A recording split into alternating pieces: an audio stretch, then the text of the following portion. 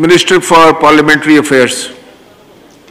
अ, शुक्रिया स्पीकर साहब जो हमारे पार्लियामेंट्री साफत से ताल्लक़ रखते हैं दोस्त उनका उन्होंने एहतजाजन वॉकआउट किया था और अ, उनके पास हम गए थे। एहतसाब अदालत में चार साफियों पे मुलजमाना जो तशद का वाक़ हुआ है उस पर फौरी कार्रवाई की जाएगी। जो रहमान जानी के खुद के अल्फाज कहता है कि पहले मैंने शुरुआत की और यह हाईकोर्ट में पहली बार किसी ने हाथापाई की होगी।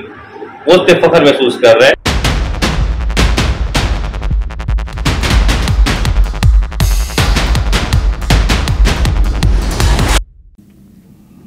बिसमीम नाजरीन अस्सलाम आप देख रहे हैं वाच टाइम्स। मैं हूँ आपका मेज़बान ताहिर नसीर।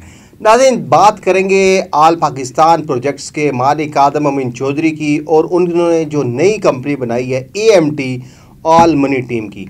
गुज्त रोज़ जो वाक़ हुआ था स्पेशल कोर्ट में, यानी कि जुडिशल कम्प्लेक्स में एहतसाब अदालत नंबर तीन के बाहर, वहाँ पे सहाफ़ियों को तशद का निशाना बनाया गया था आदम अमीन चौधरी, उसके वालिद अमीन चौधरी की ईमा पर।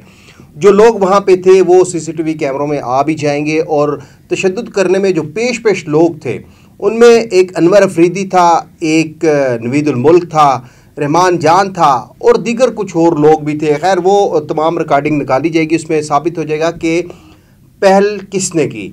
लेकिन इस हवाले से कल तमाम जो एसोसिएशंस थी जिनमें हाई कोर्ट रिपोर्टर एसोसिएशन की जानब से साकिब बशीर साहब ने यह मामला chief justice of Islamabad high court Athar के नोटिस में लाया, जिस पर chief justice Islamabad high court ने नोटिस लिया। उसके बाद पार्लियामेंट्री रिपोर्टर एसोसिएशन ने भी प्रेस रिलीज़ जारी की, नेशनल प्रेस क्लब की जानब से भी प्रेस रिलीज़ जारी की। इस्लामाबाद क्राइम रिपोर्टर्स की जानब से, रावलपिंडी क्राइम रिपोर्टर्स की जानब से, यंग जर्नलिस्ट एसोसिएशन की जानब से भी प्रेस रिलीज़ जारी की। लेकिन आज जो हुआ, आज आपको ये बता दें कि जुडिशल कम्प्लेक्स में चार सहाफ़ियों पर आल पाकिस्तान प्रोजेक्ट्स के मालिक और उसके वालिद मोहम्मद अमीन की ईमा पर जो गुंडा गर्द नासिर थे, उनकी जानब जो तशद किया गया। पार्लियामेंट हाउस में आज इजलास था तो पार्लियामेंट्री रिपोर्टर एसोसिएशन ने वहाँ पे वाकआउट किया और उसके बाद जो पार्लिमानी अमूर के वज़ीर थे, मुर्तज़ा जवेद अबासी उन्होंने वो रिपोर्ट ऐवान में पेश की। इस हवाले से आपको बता दें कि ये आज वाकआउट भी हुआ है। Minister for parliamentary Affairs. शुक्रिया स्पीकर साहब, जो हमारे पार्लियामेंट्री साफत से तल्लक रखते हैं दोस्त, उनका, उन्होंने एहतजाजन वॉकआउट किया था और उनके पास हम गए थे। साहब अदालत में चार साफियों पे मुलजमाना जो तशद का वाक़ हुआ है, उस पर फौरी कार्रवाई की जाएगी। और इसके साथ साथ आपको मालूम है कि आदम अमीन चौधरी, उसके वालद अमीन चौधरी समेत दीगर जिन लोगों ने सहाफ़ियों पर, यानी कि मुझ समेत मेरे साथ जो और सहाफ़ी थे, जिनमें मोहम्मद उस्मान था, हसीब मलिक था, काजी रिजवान था, इनको तशद का निशाना बनाया। उस हवाले से थाना रमना में मुकदमा भी दर्ज हो गया मेरी मुदैत में वो मुकदमा दर्ज हुआ है। लेकिन आपको एक बात बता दें कि तशद के हवाले से कि हम तो सिर्फ़, क्योंकि हम तो जर्नलिस्ट हैं, हमारा जो हथियार होता है सिर्फ़ कलम होता है। और अगर हम वीडियो बना रहे हैं तो वो जुडिशल कम्प्लेक्स में कई सियासतदान भी पेश होते हैं, कई मुलजमान और भी पेश होते हैं, इस्लामाबाद कचहरी में पेश होते हैं, हाई कोर्ट में, सुप्रीम कोर्ट में। जो भी मुलजम आता जाता है, हम तो उसकी वीडियो बनाते हैं और कोर्ट जो हाथा कचहरी होता है या कमरा अदालत से बाहर हम वीडियो बनाते हैं। इस पर जो सबक स्पोक्स पर्सन हैं आल पाकिस्तान प्रोजेक्ट्स के, आदम अमिन चौधरी के राइट हैंड भी हैं, जमाल खान। उन्होंने भी एक वीडियो बनाई है और उन्होंने इस हवाले से क्या कहा कि लड़ाई में पहल किसने की है, ये मैं नहीं कह रहा, बल्कि ये जमाल खान वो शख्सियत हैं कि जो आदम अमीन चौधरी के तर्जमान थे, आदम अमीन चौधरी के राइट हैंड थे।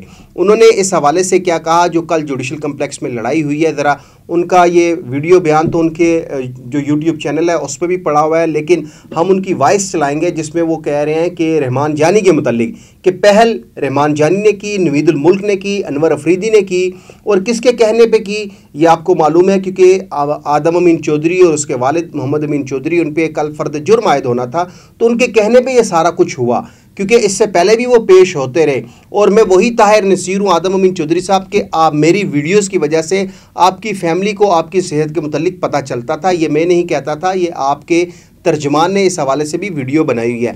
लेकिन आपका यही तर्जमान जमाल खान जो सच बोलने लग गया है उसने क्या कहा इस लड़ाई के ऊपर, ज़रा ये सुन लीजिए। आपको पता है रहमान जानी की जो वीडियोस थी, वो ऐसे बना, बनाता था धमकियाँ मेज वीडियोस। जो रहमान जानी के खुद के अल्फाज कहता है कि पहले मैंने शुरुआत की और यह हाईकोर्ट में पहली बार किसी ने हाथापाई की होगी वो उस फख्र महसूस कर रहा है। लेकिन इतनी हिम्मत इसमें आना रहमान जानी का एक्शन लेना इसकी कुछ वजूहत हैं। क्योंकि कभी कभी हम कहते हैं ना शाबाश है हमारे लिए बड़ा महँगा पड़ा। नवीद मुल्क कोई फ़र्क नहीं पड़ेगा कौन सा वो गवर्नमेंट सेक्टर में अंदर अफरीदी कौन सा गवर्नमेंट सेक्टर किसी हो। जाए ये चीज़ खत्म हो जाएगी। नाजरीन ये तो थी ये, ये आप देख लें दूध का दूध और पानी का पानी हो गया कि शाबाशी जो है वो मार देती है। और जाहरी बात है हमारा तो ये दावा है कि आदम अमीन चौधरी के कहने पर जो रहमान जान है वो इससे पहले भी हमें धमकियाँ देता रहा हमारे घर में थ्रेड लेटर फेंकवाता रहा बुलेट्स फेंकवाता रहा। खैर वो एक अलग से चैप्टर है।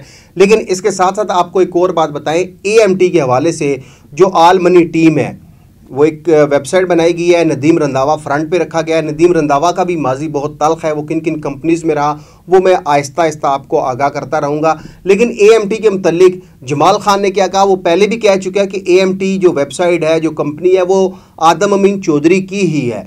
लेकिन आप हमारी बातों पे यकीन नहीं करेंगे, जमाल खान की बातों पे। और हम लोग ये भी कहते हैं कि ए में उस वक्त आपको विड्रॉल मिलेगा जब नई सेल उनके पास आएगी। इस हवाले से उन्होंने गाड़ियों के भी इश्तहार देना शुरू कर दिए इतनी सेल आओ उसके ऊपर मैं अलग से प्रोग्राम करूँगा। लेकिन ए के मतलब जमाल खान ने क्या कहा? ये ज़रा उसका वॉइस नोट सुने मैं जानता हूँ कि ए का जो मेन ऑनर है वो आदम अमीन चौधरी है। और मैं इसको साबित भी कर सकता हूँ मैं इसको हर चेहरे से बोल सकता हूँ लेकिन मेरा कहना ही काफ़ी है। दूसरी बात ज़िंदगी रही साबित करना पड़ गया तो इनशाला वो मैं साबित भी कर दूँगा वो कोई मसला नहीं है। नाजिन ये अब दूध का दूध और पानी का पानी हो चुका है कि जब आदम अमीन चौधरी अडयाला जेल में था तो वो दावा करता था मैं नहीं कहता बल्कि जमाल खान कहता है कि मैं जब बाहर निकलूँगा तो मैं आपको फौरी तौर पर विड्रॉल दे दूँगा। अब सूरत हाल ये पैदा हो गया कि कल आदम अमीन चौधरी और उसके वालिद के कहने पर इनके जो लोग थे, इनके साथ आए हुए, उनमें जिस तरह मैं नाम बता चुका हूँ, अनवर अफरीदी है, नवीदुल मुल्क है, रहमान जानी है, जो और लोग वहाँ पे सीसीटीवी कैमरे लगे हैं, वो वीडियो आ जाएगी। लेकिन अब ये आप बात नोट कर लें, ये देख भी लें कि जमाल खान ने कह दिया है कि रहमान जान जो है, वो बड़े दावे से कहता है कि पहले हाथ उसने उठाया था।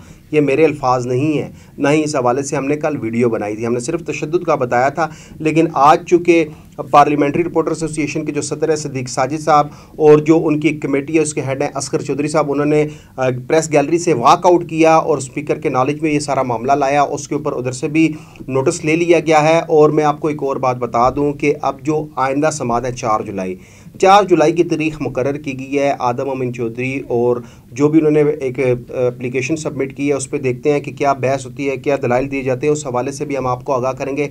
लेकिन अब तशद के हवाले से जो आल पाकिस्तान प्रोजेक्ट्स के मम्बरान हैं, जो हमारे देखने वाले नाजरन हैं उनको अब इल्म हो जाना चाहिए कि पहल किसकी जानब से हुई कि जो शख्स दावा कर रहा है, वो आपके सामने वॉइस नोट भी जमाल खान का झूठ नहीं बोलता, इसकी यूट्यूब चैनल पे चले जाएँ, वहाँ पे भी वीडियो पड़ी है लेकिन और कुछ ऐसी चीज़ें हैं, वो इंशाल्लाह आने वाले दिनों में हम आपको बताएँगे कि कौन सच्चा है, कौन झूठा है। हम तो हक पर है, हमारा ये दावा है कि आल पाकिस्तान प्रोजेक्ट्स के पास क्राउड फंडिंग का कोई लाइसेंस नहीं है।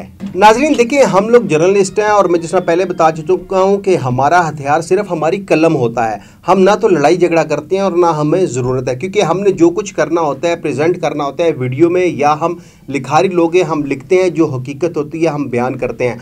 और आदम अमीन चौधरी साहब कल ये भी बता दें कि कल जुडिशल कम्प्लेक्स में आप कितने लोग लेके आए थे? उससे एक दिन पहले की वीडियो रहमान जान की उसके यूट्यूब चैनल पे पड़ी है, जिसमें वो हमें बाबा तौर पर थ्रेड कर रहा है कि ताहिर नसीर, कल तुम इच्छा अदालत आओ तो तुम्हारी मेहमान नवाजी करेंगे। अब आप भी बता दें कि आपने कितने हुडे बुलाए थे हमारे ऊपर तशद करने के, क्योंकि आपको मालूम है कि ताहिर नसीर जो है वो बिकता नहीं है और उसका मुँह बंद कराने का एक ही तरीका है कि जब आप मुझे ख़रीद नहीं सके तो आपने अपने हुंडों के ज़रिए हमारे पे हमला करवाया। ये सारी चीज़ें इनशाला आने वाले दिनों में मज़ीद कुछ चीज़ें नहीं आई हैं हमारे पास, उस हवाले से भी आपको आगाह करेंगे, लेकिन ए का तो अब साबित हो चुका है कि वो कंपनी भी आदम अमिन चौधरी की है।